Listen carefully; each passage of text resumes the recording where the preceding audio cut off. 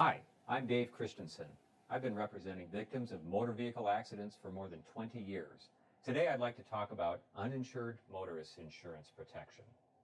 You see, if you're hit and injured by a driver who doesn't have insurance on their car, you cannot recover from them.